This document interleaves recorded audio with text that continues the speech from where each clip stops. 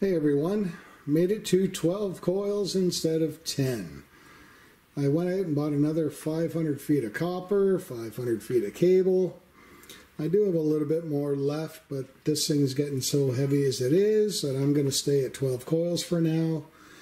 That way I'll be able to move this thing around. Okay, last shot before I put the secondaries on there. I've wrapped it in a cardboard material that I got from an art store. Stuff's about 60 thousandths of an inch thick. Pretty stiff. This was my first attempt. I rolled it up and uh, had to let it sit for a couple of days at a smaller diameter and attempted to put it on. Didn't work out too well, so I tried number two, tighter wrap. I used a little bit of the shrink wrap material to join the two ends together and a real thin bead of silicone around the outer edges to seal it. I just don't want, I want to make sure that the uh, the 22 gauge wire doesn't drop down in behind the cardboard, so a quick little seal on that. I installed a terminal block for the secondaries. I'm going to wind two separate sets of secondaries on here. That way that'll allow me to hook them up in series or parallel depending on the turns ratio that I want between the primaries, which I can also wire up in series or parallel. So I'm going to run it off of a half inch drive variable speed drill, nice slow speed, and this is the last legs of my journey. After this, my coil is going to be done. I'll get it on the test bench. I'll fill it full of water and get this thing fired up and see what it's going to pump out. Well, that's a shot of the uh, the first wind on the secondaries. I figured I'd show that to you because that's probably about as good as it's ever going to look. so this is actually my third attempt on this. First one, the windings were too loose. Second layer across started to sink in. Second time around, too tight. The cardboard supporting it actually collapsed, so all the windings came loose again. So I've reinforced the cardboard a little bit, and we're on coil number three. So we're almost there. It's just time now to uh, to go through and do the uh, next layer over top. And then I'm going to be finally done. I've got eight layers to put on this.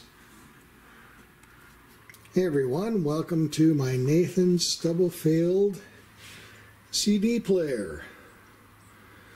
Thank you Lasersaber and Lidmotor for giving me the inspiration to get this thing up and running.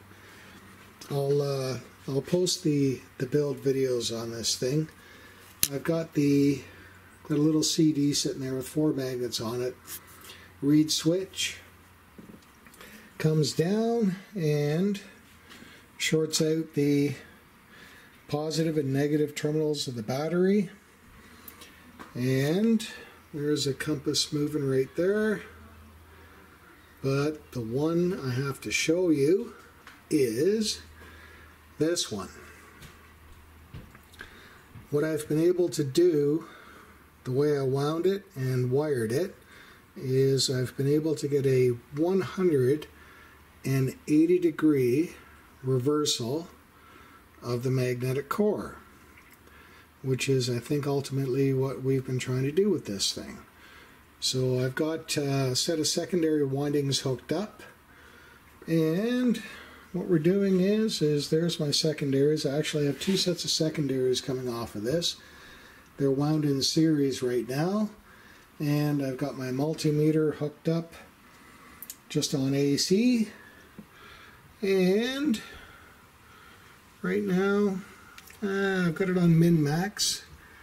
Let's see, 4.6. It's getting faster. So I'm getting about uh, 4.6 volts alternating current out of this thing right now. And it just keeps on getting faster and faster. When I built this, the iron core actually became magnetized with this end over here being north and this end being south. But the more this thing runs, the faster that compass seems to spin. And every time I hear my multimeter beep, I've hit a new min-max. So I plan on hooking this thing up to a scope and seeing what type of patterns I'm getting out of the primaries and the secondaries on this thing. And uh, in the near future, I'll post how I've actually wired all these 12 individual coils together. So uh, to give you an idea exactly how I came up with this result.